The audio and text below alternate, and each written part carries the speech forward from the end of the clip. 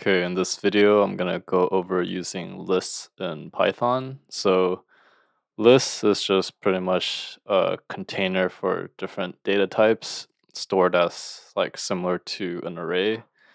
So let's make a list of strings that we'll call string list. And we'll just call Kevin and robot. And then you could have a list of integers so here we'll have three, two, five, for example.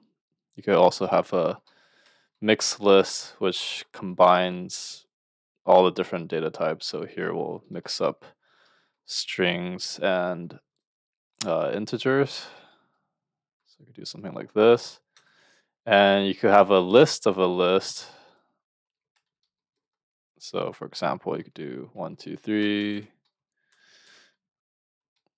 one, two, three, and then four, five, six, and seven, eight, nine.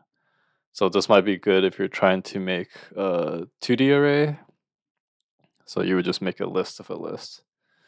Okay, so you can also extract out different parts of a list as we did for strings. So I'm to put a breakpoint here.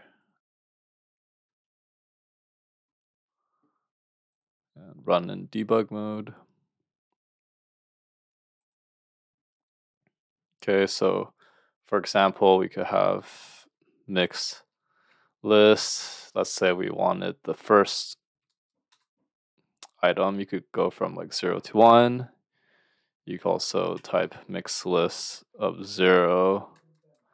So mixed list of 0, you can see it's also Kevin. So here you could get the first two, the first three, and so on.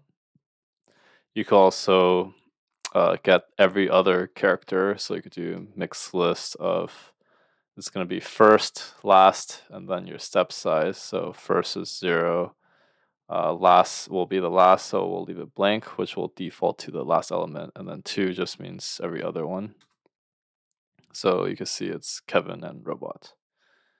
And if we just wanted the numbers, you could just start at one and it'll go every other one until the end. So that's how you would get a list of every other element. And you could also do things like append to a list. So currently my mixed list, if I print it out, you can see it's Kevin1, Robot 2. Maybe you want to append something. So maybe I append Python then if I print out mixed list again, you can see it's Kevin1 robot 2 Python. And maybe you don't want your list anymore, so you want to clear it. So you could do mixed list dot clear, and if I print out mixed list again, you see that it's empty. So I'm going to reinitialize my mixed list to my original one so that I don't have an empty list you can see is Kevin 1 Robot 2 again. So now we're going to talk about using some of the functions like copy. So maybe you want to make a copy of a list. One thing that you know some people might do is say temp list equals mix list. So this is actually not making a copy, it's actually pointing to a mixed list. So if you're familiar with C++, it's kind of acting like a pointer. So if I print out temp list right now, it's technically the same, pointing to the same thing that mixed list is. So what that means is if I try to modify temp list, let's say zero, and I decide to change my name to John, then if I print out temp list, you can see temp list is John 1 robot 2, but if I also print out mixed list, you see that mixed list actually got modified. So the correct way of making a copy of a list is to use the copy function. So I'm going to call it, well, first I'm going to reinitialize my temp list or my mix list to the original list I had. And then if I have a temp list 2, for example, I'm going to do mixed list dot copy. So this will actually make a copy instead of pointing to the list. So now if I do temp list 2 and if I change the first one to John. If I print out temp list 2, you could see that my first element got changed from Kevin to John. But if I print out mixed list now, you can see that Kevin did not get changed. So you can see here mixed list, the Kevin got changed, and then here the mixed list is original. So if you ever want to make a copy and not modify the original, you want to use the copy function instead of setting it equal like we did up here. Okay, so that's how you do copy.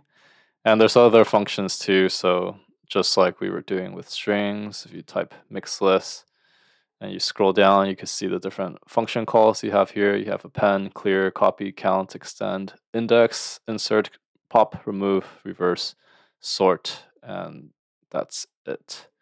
So if I want to do pop, for example, this will tell you that I removed the last element, so it's kind of acting like a stack. And then you have uh, mix list dot insert. I could insert, for example, five. Um, well, in this case, let's reinitialize again. So if I reinitialize it,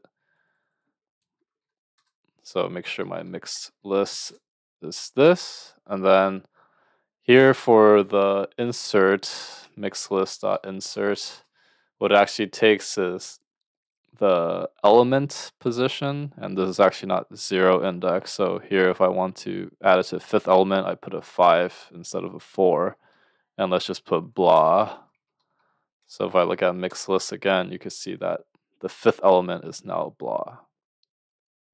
Okay, so it's kind of confusing that it's not zero index here, but just keep that in mind. And then let's say I didn't like the garbage value I put for blah and I want to remove it. Then I'll do mixed list dot remove blah. And if I print out mixed list again, you can see that blah is now gone.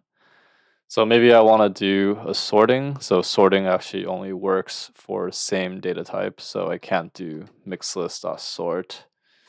You see that it says int and string not supported between instances of the two. So we had here an int list, so we could actually do a int list dot sort. And if I print out int list again, you can see my int list got sorted.